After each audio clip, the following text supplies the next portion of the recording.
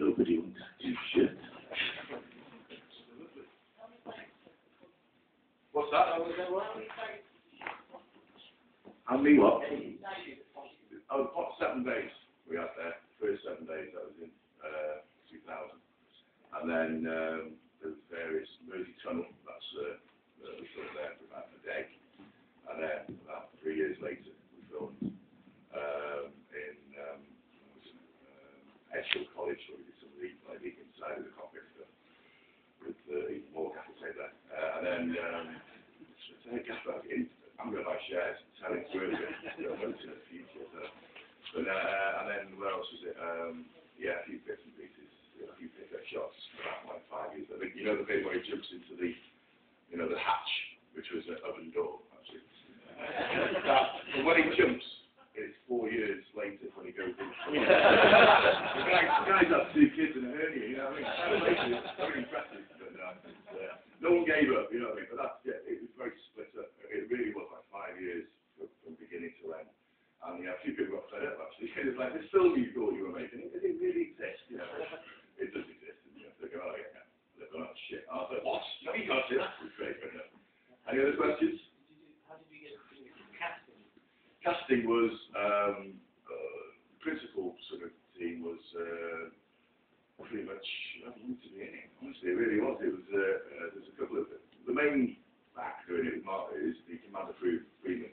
He's done a few, but, you know, he's a proper actor, but most of the others hadn't done much, you know, uh, Spell, um, Spell, uh, he was like a model. He was on Survivor. Anyone remember Survivor? The evil reality hell show where they go on an island, you win a million quid. Well, he was on that for about a week. Uh, but everyone else, I was in it, I'm obviously quite cheap.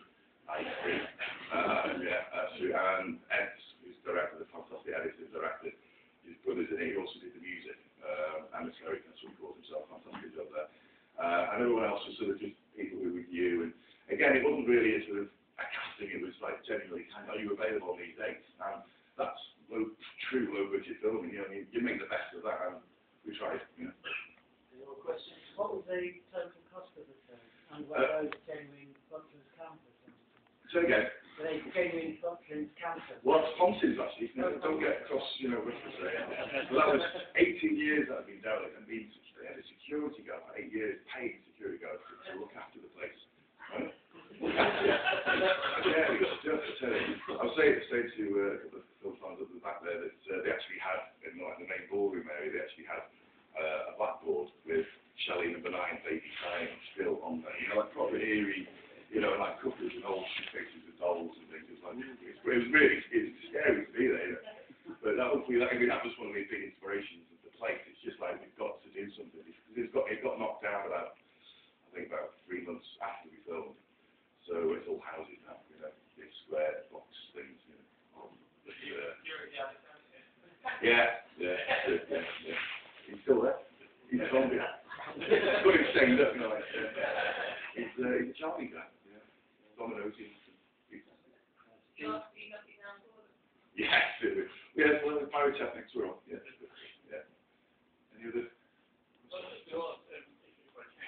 You can. Well, it's- the initial budget was a thousand pounds, uh, for initial, um, and it was five hundred of that was for insurance for being, uh, on Thompson's. And then we got another, the V, who played the first, uh, lady who got killed.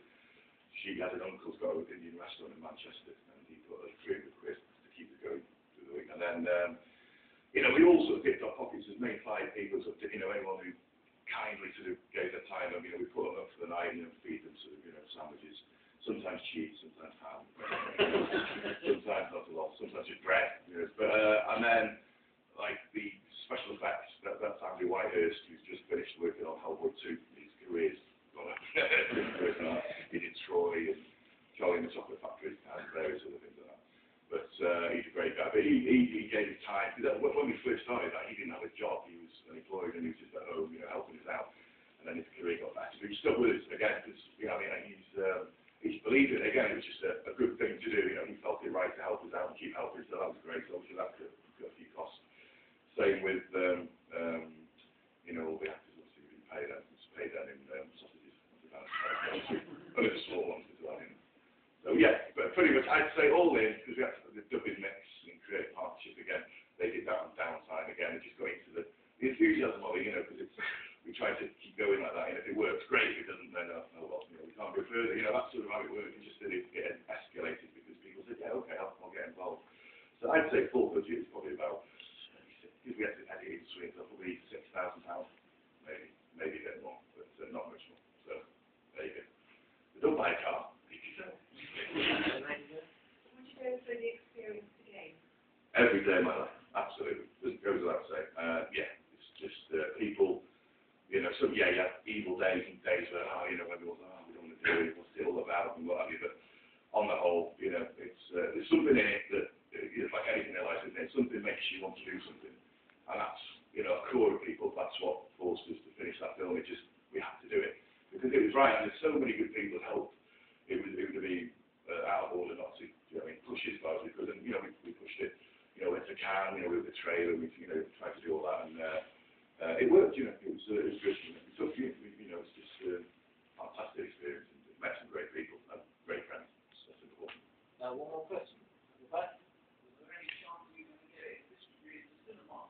Probably not, I mean, uh, I wouldn't think, maybe Infestation Two, you know, with Bruce Willis, possibly, you know, taking over my role, would say Bruce me, Bruce me? Uh, I don't, I don't think, I mean, again, I mean, who'd stand up, I mean, it was a bit ropey on that, I mean, it literally has been on, you know, Hi8 takes, you know, solely handicapped, you know I mean?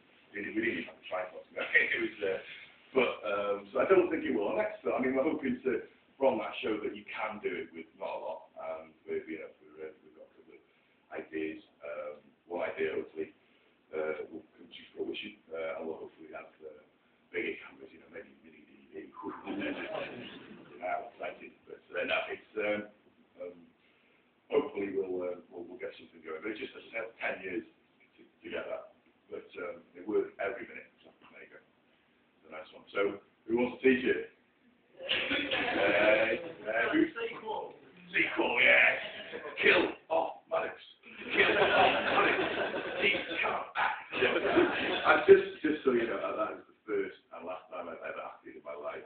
Honestly, apart obviously for the wife and the pub, but it's honestly never again. Is, uh, you know, but uh, you know, there are some some good things. I don't know. I mean, can you feel the heart in the film? Could you could you see it? Yeah, it's holding together by a string. I know, but I do. I, thank you very much for appreciating. I heard a few giggles, and I think it fantastic, and I, I really appreciate it. Give yourself a round of applause. Yeah, all that thing,